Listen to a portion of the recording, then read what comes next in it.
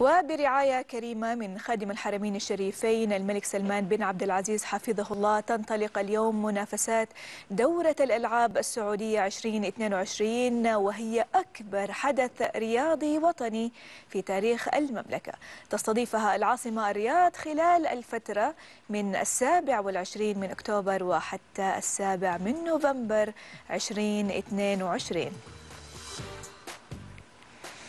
طبعا هذا حدث مهم جدا تستضيفه المملكة العربية السعودية لأول مرة وأيضا يهم كل الرياضيين في جميع القطاعات وتفخر المملكة العربية السعودية بأن تستضيف هذا الحدث الرياضي المهم على مستوى الوطن العربي وتعزز الطاقات والمواهب اللي تساعد على توسيع قاعدة ممارسة الأنشطة الرياضية والبدنية في المجتمع سواء من الذكور والإناث.